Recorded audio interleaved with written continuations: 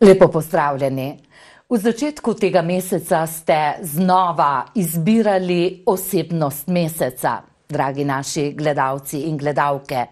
Z vašimi glasovi na naši spletni strani ste izbrali osebnost meseca aprila, mojega današnjega gosta, Gorazda Šuštariča iz Sel pri Dragatušu. Kot že rečeno, Gorazd je z menoj v studiu, lepo pozdravljen, Gorazd in čestitke. Osebnost meseca aprila, tako so odločili naše gledalke, naši gledalci. Ja, hvala in lepo pozdravljeni tudi mi. No, midva se bova tikala, kajti z Gorazdom sva oba dva belokranjca in se poznava že dolgo, tako bo pogovor eh, bolj sproščen. Pa še nekaj želim povdariti v začetku. Prihodnje minute, tokratna oddaja ne bo samo zanimiva, ne bomo govorili samo o zgodbi Gorazda eh, Šuštariča, ampak bo zagotovo tudi poučna. Zato vas vabim, ostanite v naši družbi. Gorazd, rekla sem eh, osebnost meseca aprila, zakaj? Ti si prvi slovenec, ki skuša premagati multiplo sklerozo, neozdravljivo eh, bolezen z visokimi, velikimi dozami D-vitamina. Ampak lahko se že kar popravim. Ne le, da skušaš, velik korak naprej si že storil. Kaj se je zgodilo v tem obdobju v tvojem življenju s pomočjo D-vitamina? Ja, dejansko se je res zgodil zelo velik, velik napredek, ne? ker uh, do sedaj je izgledalo, da je ta multipla skleroza, da za njo enostavno ni rešitve. Ne? In uh, na srečo sem lansko leto uh, naletel na tale vitamin D3 in kar naenkrat se je izkazalo, da je multipla skleroza zaustavljiva skoraj 100% uh, samo za njim. Ne? Ne le, da si zaustavil bolezen, napredoval si, kot si mi pripovedoval v začetku lanskega leta, eh, se ne bi mogel takole z vozičkom pripeljati v naš studio. Lansko leto je res izgledalo zelo, zelo slabo. Uh, mislil sem, res sem več zgubil sem soupanje. Uh, ker je enostavno je kazalo vedno skozi, samo padal sem, padal, padal dol, vedno ko je bilo no zagon in bil sem že na posteli, dejansko se nisem mogel že dvigniti iz postele. Nisem mogel enostavno nič sam narediti, več nič. Uh, nikamor se premakniti sam do WC-ja, nikamor, ne, nič, nič. Nepogreten človek na posteli. Stoprocentni invalid. Čist. Ja, in če se spomnim, poznam te v tistih časih, ko si bil plesni učitelj, ko si imel plesno šolo, ko si bil pedagog, pol življenja, ko si bil doma na plesnem parketu in potem se je zgodilo čez noč. Tako je. Žal, žal, te stvari se dogajajo nenapovedane pri, večini, pri, pri vseh boleznih, ne? E, tudi pri ostalih vseh avtoimunih boleznih. In vzrok je precej banalen. Vzrok, uh, vzrok je dejansko v, v našem uh, današnjem življenju, nepravilnem, nepravilnem uh, sprejemanju tega življenja. Izogibamo se soncu. Sonce je dejansko poglaviten in najbolj važen dejavnik v našem življenju, tako kot je v naravi, je ravno je enako za nas. Uh, ljudi in živali, isto. Živali in ljudje uh, funkcionirajo popolnoma enako. Ja, dermatologi in e, farmacija nas opozarjajo med 11 in 4 uro ne na sonce, velike astronomske številke zaščitnega faktorja e, pred soncem uporabljati. Vete, Ti praviš, tu, da je to zgrešeno. Ja, tu, tu, tu je tista glavna napaka. Tu je glavna napaka današnjih dni. Izogibanje soncu, zaradi tega, ker smo naučeni temu. Če boste pogledali recimo živali, njih tega nihče ni naučil, N, uh, recimo, da žival ne sme iti na sonce. Mi smo jih zaprli noter. In če jim vi odprete vrata, oni grejo takoj ven in bojo šli na sonce. Uh -huh. Samo ljudje naučili so nas, da ne smemo se nastavljati na sonce in da se moramo mazati za kremami, drugače bomo dobili kožnega raka ali kaj takega. Narobe, narobe, narobe. Uh -huh. Za naš organizem so pomembni UVB žarki. Tako ti nas ne opečejo in Tako. ti se v našem organizmu tvorijo D-vitamin eh, ravno v tem času med 11. in 4. uro. Izven tega so UVA žarki, ki so pa Nevarne, škodljivi. Ja. Ja. Uh, pred 11. in po 4. uri so uh, v glavnem no, je UVA žarčenje. Uh, UVB žarčenje se spostavi šele med 11. in 4. uro, takrat, ko, ko je sonce najmočnejše. Ne. In samo 20 minut je dovolj, uh, recimo izpostavitev v kratkih rokavih, kratkih hlačah, da dobite uh, potrebno količino vitamina D3 za dnevni vnos. Za dnevni vnos, uh mhm. -huh. ne za cel teden. Uh mhm. -huh. Vsak, Vsak dan, dan potrebujete 20 minut sonca ali pa pol ure. In v pol ure, če imate um, uh, urejen vitamin D na pravilnem nivoju, vas sigurno ne bo opeklo. To garantiramo. Ampak težava je to, da smo mi med 11. in 4. uro v službah, eh, daleč od sonca, pod klimatskimi napravami in da si lahko ta luksus privoščimo takrat, ko gremo na dopust. Ja, in še takrat se namažemo za kremo in pridemo nazaj dejansko slabši, kot smo šli dolne. Ali pa na dopust, oziroma na morje, ali ne vem kaj ne. Težava je tudi v zimskem času, ko ni zadosti sonca, tam od oktobra do marca. Ja, to pa, to pa sploh. Zimski čas je pa uh, v našem tem uh, podnebju, ne, ta, ta naš pas, uh, nujno potrebno je imati prehranska dopolnila.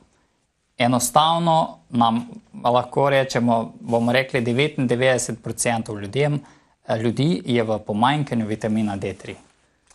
To je stavek, ki sem ga slišala takrat, ko sem pripravljala novico, ki je pritegnila naše gledalke, gledalce, eh, da so te izbrali za osebnost meseca novico ob predstavitvi knjige, o kateri bova še govorili, ki si jo izdal samo za ločbi, ampak eh, to je bila tudi posledica, prinesla sem seboj, datum je tukaj jasni 3. maj, torej nedavno tega sem šla tudi sama izmeriti v laboratoriji, v zdravstveni dom, nivo D vitamina v mojem organizmu in imunološka preiskava v splošni bolnišnici Novo mesto je pri meni pokazala, tukaj piše orientacijska vrednost, torej najmanj je 75 nekih enot, pri meni jih je le 50, torej za tretjino premalo in nikogar, s komer sem se pogovarjala, ki je to storil,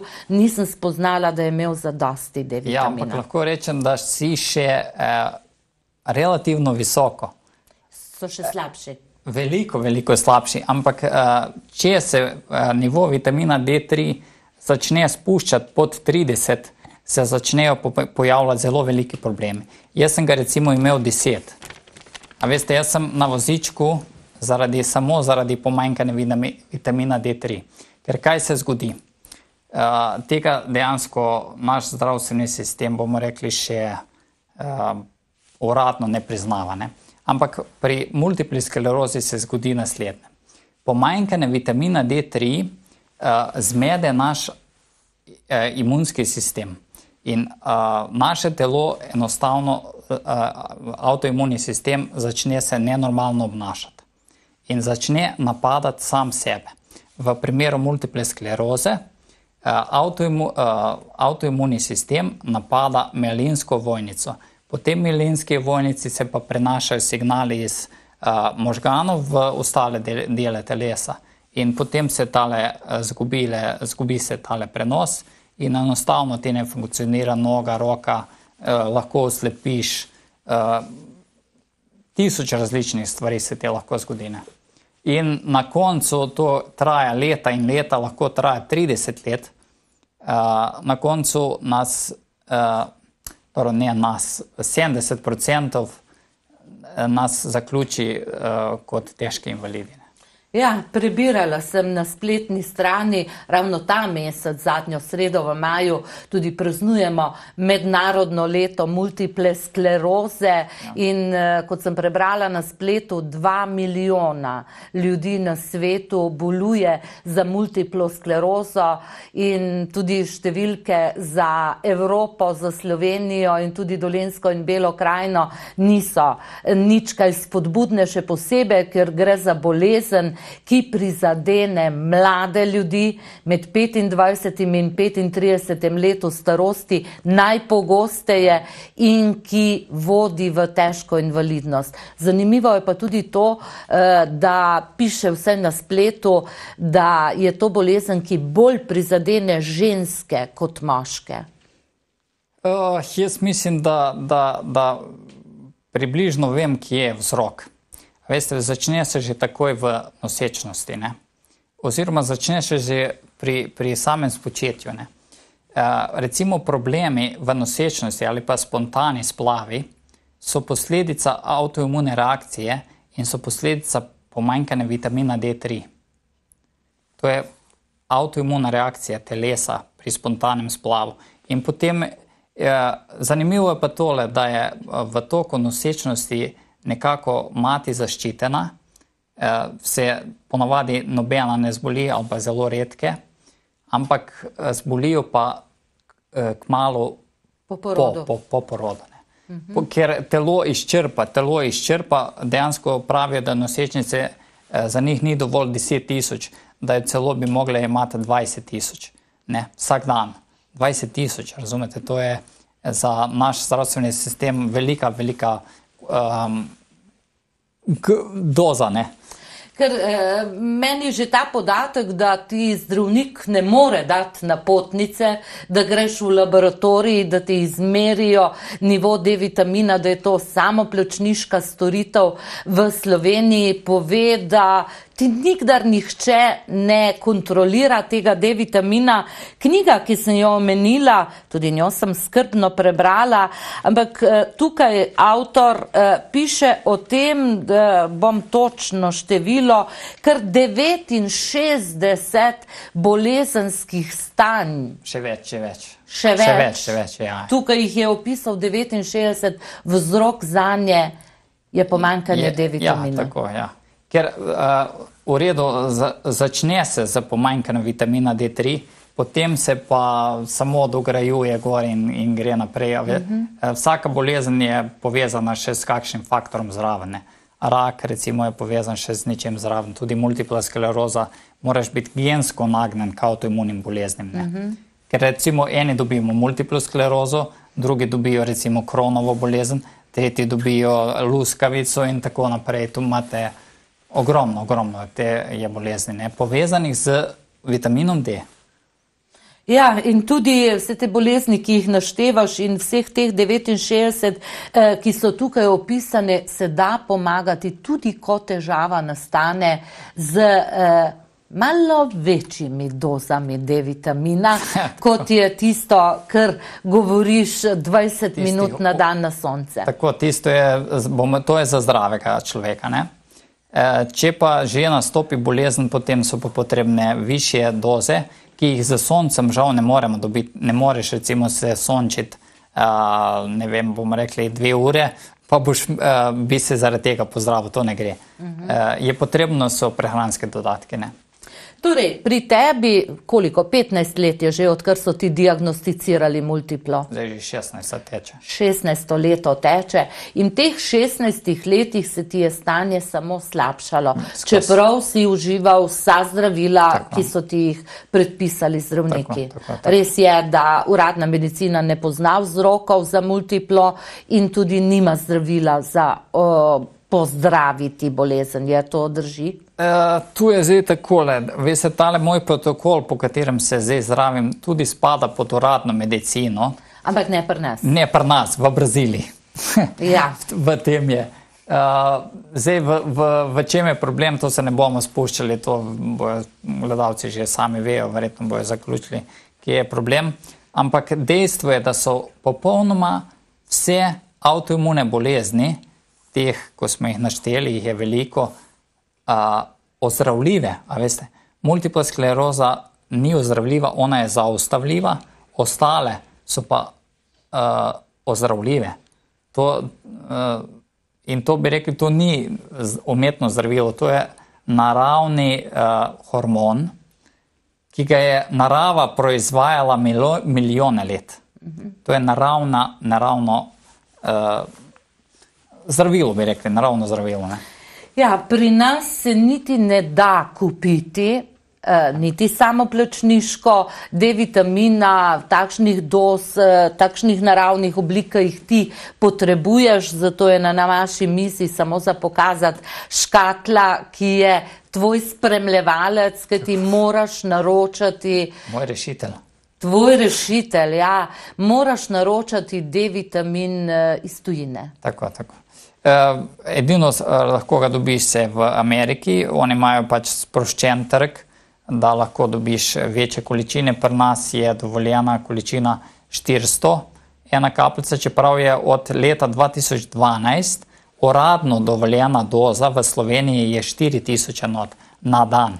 Se pravi, zdravnik, če ugotovi uh, pomanjkanje, kot je recimo pri tebi, uh -huh. uh, pomanjkanje vitamina D3, bi zdravnik bil dolžen ti predpisati uh, 4000 enot na dan.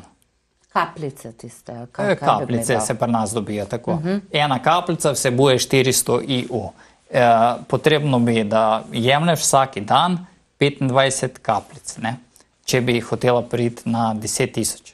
Ampak ni dovoljeno, je potrebno se pravi samo do 4 tisoč lahko uradno Ja, greš. ponavadi zdravniki dajo, ne meni, poznam, uh, 35 kapljic na teden. Na teden, ja, to je 2000 enot na dan. Potrebno bi bilo imeti uh, 70 kapljic na teden, da pridemo do enote 4000 na dan. To, kar je uradno dovoljeno. Ampak je premalo. Uh, tale brazilski zdravnik, dr. Coimbra, je dokazal, da telo nujno potrebuje vsak dan 10 tisoč enot vitamina D. 10 tisoč enot, se pravi, eh, tole uradno enoto bi treba pomnožiti krat dva, pa še malo, ne? da pridemo na pravilno, pravilno dozo. In tukaj, tukaj zaradi tega uh, imamo ljudi v današnjem času, zaradi tega modernega, urbanega uh, načina življenja in mazanja z kremami, probleme od rakov do Do, debelosti sem do brala debelosti, celo, in se ja. spomnila takoj na to, da nam de debelost že pri otrocih narašča. Ja. Seveda, ker ne smejo na sonce in imajo faktor 50. Ja, ni, ni samo vse tisto, da so otroci, da se manj gibljajo. Uh, če bi začeli, potrebno je začeti kompleksno uh, Ja. stvar reševati. ne. Ni samo en vzrok. V glavnem, omenil si že v Braziliji, se že 10-12 let uh, uradno uh, zdravijo Ja. in imajo tudi 95 odstotni uspeh. Ma lahko Sem rečemo prebrala. skoraj 100, ne? Skoraj 100. Oni, so, oni imajo sedaj oz, uh, zaustavljenih bolnikov, ki imajo zaustavljeno multiplo sklerozo, 5000, ne? ampak samo pri 14 so se uh, jim pojavila kot uh, neki problemi z kalcifikacijo, ampak to je prišlo zaradi tega, ker se bolniki niso držali uh, navodil, niso pili dovolj vode in uh, jedli so preveč um, hrane, ki vsebuje preveč kalcija. Mm -hmm. Ampak uh, niso utrpeli nobenih trajnih posledic, ker so tole takoj ugotovili in so takoj jim uh, uh, popravili te stvari in ni, nimajo nobenih trajnih posledic. In zaradi tega so tistih 5% mm -hmm. rahlo spustili, lahko bi rekli 100%. Ne. Mhm. Vse to, kar govoriš o pitju vode, eh, eh, hrani, ki vsebuje kalcij, torej predvsem mlečni proizvodi, eh, velja za velike Ja, doze, prim- kakršne ti uživaš Tako. in bolniki za nas zdrave, tudi če uživamo prehransko dopolnilo, lahko sirjemo normalno. Tako, vam zdravim se priporoča, se pravi 10 tisoč enot na dan in nimate popolnoma nobene omejitve. Kaj se Ampak tiče tam na našem krožniku so še ene kapsule, eh, ti priporočaš, eh, bom dala ti bližje, še nekaj. Uh, jaz sem hotel dejansko v prvi vrsti pok, uh, pokazati, uh, z, s čim je dejansko multipla skleroza zaustavljiva. Ne? Samo z, to so nujno potrebni uh -huh. Uh, so še neke dodatke, ki jih jemljemo zraven, ampak Zdravil pa ne jemlješ več. nobenih že. Odkar se ti stanje izboljšuje, bom rekla. Tako.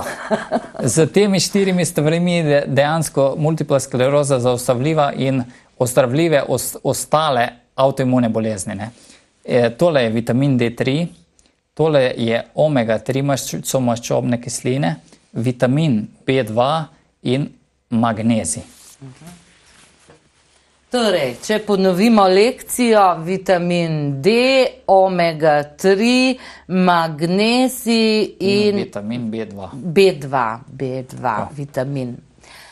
Gorast, eh, rekla sem že, v rokah držim eh, knjigo, ki si jo izdal samo založbi, pravzaprav si prevedel ameriško uspešnico in dodal še svoje spoznanja in izkušnje na zelo poljuden način. Eh, Je tukaj napisano, ka, pri čem vse se da, kako pomagati, veliko pričevanj precej ljudi. enostaven način. Ne. Ja, zelo enostaven. Se zato je morda kar neverjetno, ker je preveč enostavno. Ja, ja, ampak uh, mene imate tu kot dokaz. Poglejte, jaz sem uh, lahko rečemo med prvimi ali pa prvi, ki je v Sloveniji zaustavil napredovanje hude, hude bolezni, kot je multipla skleroza. Ne. Zdaj me sledi me kar nekaj. Jaz, ko sem tole našel, sem seveda takoj poklical svoje prijatelje, sem jim povedal za to, nekaj jih je takoj šlo v to, nekaj dvomijo in čakajo, kaj se bo z mano ali pa z nami zgodilo. Uh, nas je pa zdaj v Sloveniji že kar, verjetno, kakih 50, mogoče tudi več, že na tem protokolu visokih doz. V glavnem smo to bolniki, ki smo že uh, v, v, v, v težjih, težjih, težjih situacijah. ne. Ampak sledijo tudi tisto. Pomembno je, da se uh, zdravniki, um, um, pardon, bolniki z multiplo sklerozo začnejo zavedati. Za svoje zdravje žal bo potrebno poskrbeti sami. Uh, Uradna medicina oziroma ta zdravila, ki jih dobivamo ali smo dobivali, eh, imajo dokazano kot samo 30% učinkovitost, pa še to je vprašanje. Ne? Kakor pri komu. Kako pri komu? Ne? Recimo v mojem primeru lahko rečem, njihovo delovanje je bilo skoraj nič, ne? ker enostavno 15 let vedno je šlo samo bolne. Uh, sedaj sem pa prekinil z, z vsemi zdravili, jemljem samo visoke doze vitamina D, jemljem 80 tisoč na dan, to je za naš zdravstveni sistem smrtna doza. Jaz sem pa na srečo vse boljši. boljši. Mm -hmm. Vse boljši ne? To tisti, ki smo te videli kdaj v slabšem stanju, resnično ne. lahko rečemo, da je bistvena sprememba. Ampak mislim, Goraz, da morava še nekaj povdariti, te visoke doze, o katerih ti govoriš, ni dobro na svojo roko, ker je mati, kajti ne le v Braziliji, tudi v Evropi so zdravniki, ki sledijo temu in je dobro uh, le pod eh, to vrstno zdravniško kontrolo to delati. Ne dobro, ampak je, to je obvezno, bi rekli. Nikomer, nikomer ne priporočam, da se spusti v, v tole zdravljenje z visokimi dozami uh, sam. Potrebno je paziti na določene faktore, ki jih mora spremljati priučen zdravnik temu protokolu. Uh, ker je nekaj faktorov, na katere je pa, treba paziti, predvsem je problem kalci. Uh, da, Da si ne bi povzročil škode. ja, da se ne povzročiš bre- brezvezne škode. Ne? Ampak zdaj, da ne bi tvoj telefon preveč doma zvonil in te ljudje spraševali, čeprav vem, da se razdajaš, da deliš svoje izkušnje vsem, je tudi na spletni, tvoji spletni strani veliko napisanega.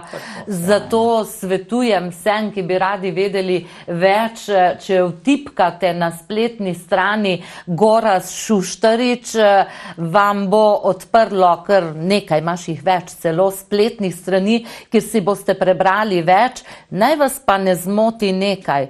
Goraz, kljub temu, da boluješ za multiplo sklerozo, da si bil še v slabšem stanju in da si še na invalidskem vozičku, eh, ne miruješ, vseeno delaš. Doma imaš atelje, slikaš. Kaj še Vel, počneš? veliko poskušam delati, ampak to je delo uh, v, res, uh, v, v res ekstremnih, ekstremnih mukah, lahko rekli. to dejan, nočem o tem vam sploh razlagati, ker bojo potem mogoče bi izgledali, kot da se hoče, sam sebi smilim, nočem tega dajati. Enostavno se trudim. Jaz sem si zadal na začetku bolezni, da bom našel rešitev za to multiplo sklerozo, ker mora obstajati rešitev. In sem jo našel, in uh, sedaj pa enostavno poskušam ostalim uh, bolnikom in zdravim uh, odpreti oči, naj se začnejo zavedati, kje je problem. Ker problem je v zelo, zelo banalni stvari. Dokazano, uh, samo mi, mi ljudje smo žal po, po, čist pozabili na to. Ne? Logične stvari so to. Logično. Ja, nekdaj niso poznali krem za In ni sončenje. Delali krmo je bilo treba pograbiti Ja. ja. opovdne. Seveda. In niso imeli toliko problemov, kot jih imamo danes, od, od avtizma do, do ne vem, imate rakov, vsak četrti dobi raka. Uh, vzroki so pa, jih vemo, vemo jih, za raka se točno ve vzrok, lahko povem, in še za eno stvar bi mogoče po- potem zraven povedal. A lahko povem za raka? Ja, kar izvoli. Za raka se veže od leta 1923, je tole nemški zdravnik Otto Wartburg uh, uh, ugotovil, kaj, kaj je prvotni vzrok za raka. Uh, celo Nobelovo nagrado je za to dobil leta 32, ampak o tem skoraj nišče ne ve, neč o tem, ker so bili pač vojni časi in, mm -hmm. in tako.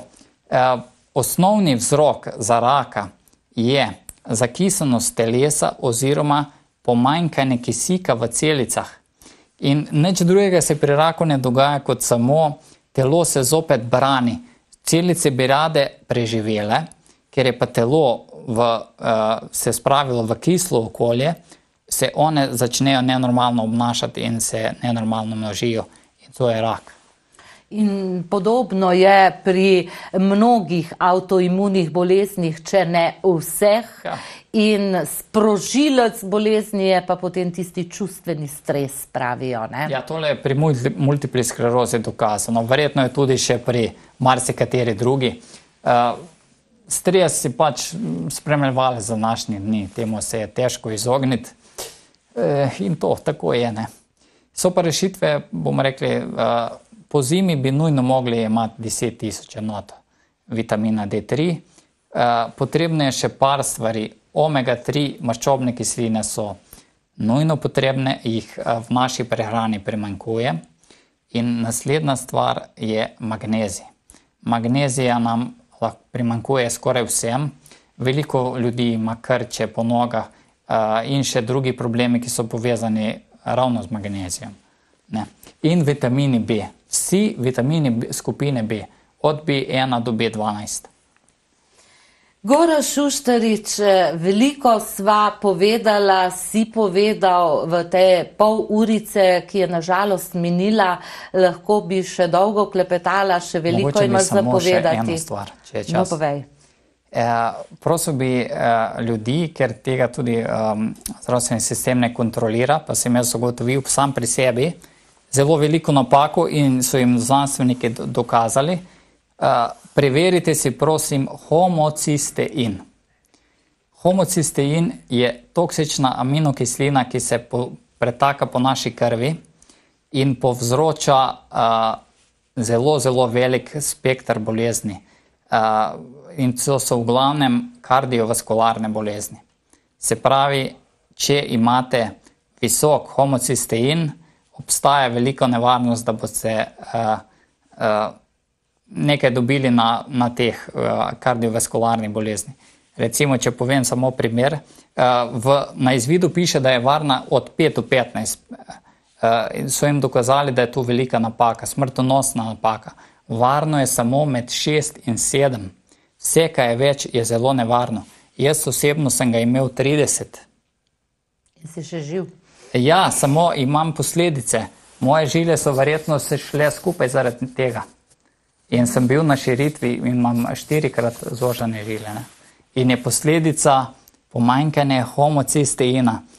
In uh, 45% um, uh, smrti, ki se zgodijo zaradi uh, kardiovaskularnih problemov je problem povišan homocistein. Preverite, niža se ga z vitamini B. Gora, zdaj bova pa res morala končati. Mislim, da si podal kar nekaj preprostih nasvetov na svo, osnovi svojih lastnih izkušenj in spoznanj, ki si jih iskal in našel tako pri zdravniku v Braziliji, kot zdravniki, s, eh, s katerimi delaš v tujini, tako. sedaj s tem programom, kot ne nazadnje v tej knjigi predstavljeno. Za konec ti res rečem hvala in eh, želim, želim, da napreduješ in da prideš do tistega, kar si mi rekel. Hočem priti vsaj na Bergle, če ne na tek. Hvala vam za povabilo. Upam, da so gledalci potegnili kaj koristnega ven iz tega. Verjamem, verjamem, da jih veliko ne bo temu verjelo, ampak uh, verjamite mi, govorim resnico iz vlastnih izkušenj in je dokazana 100%. Hvala, Gora, še enkrat in hvala za pozornost vam, dragi gledalci, drage gledalke. Kaj ne rečem? Poizkusite. Zemite v roke knjige, odprite internet, pojdite na spletno stran Gorazda Šuštariča, pa morda boste našli kakšen odgovor tudi na vašo težavo oziroma še bolje za preventivo. Pa lep prijeten večer vam želim.